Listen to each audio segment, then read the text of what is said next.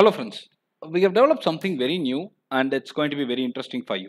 I'm going to show you the ADAS system, driver assisting system, which is going to help the drivers in finding if they are going to collide with the cars that are going in front. It is called forward collision detection. We are going to do that and also we are uh, detecting if there is a lane change which is happening and another car is going to come into your lane real time and we will alert you.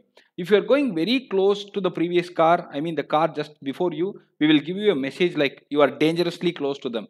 But otherwise we will keep monitoring and we will give you all the output real time. This is a beautiful attempt and I'm going to show you the results right now and you will be able to appreciate it once you see it, I believe. Let's go ahead with the demo. I'm launching it right now and it will take half a minute for me to just set up the system and it's a real-time video feed that we have taken and we have pushed it onto the system that we have built. You can see that in the left hand side corner, right hand side all are the processing and we have processed that that way and the left corner here you can see that we get the distance very clearly uh, notified and when I'm going very close you can see that it will be giving us an alert. This is not dangerously close it's close but when you go dangerously close you will get an alert. You can see that now dangerous.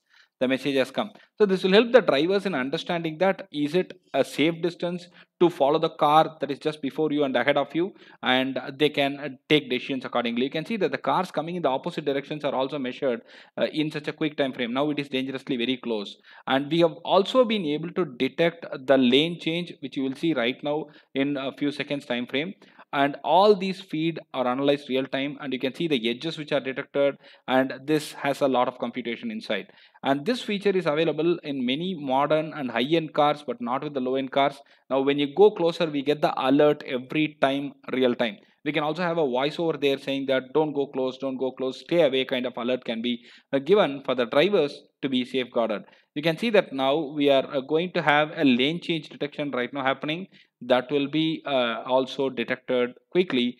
And you can see that the car on the left hand side lane change lane change it's detected. So it's also detected very quickly and it's absolutely real time and one thing that is required in all these real time systems is it has to be a really real time and we could get that here and hope you liked it. Thank you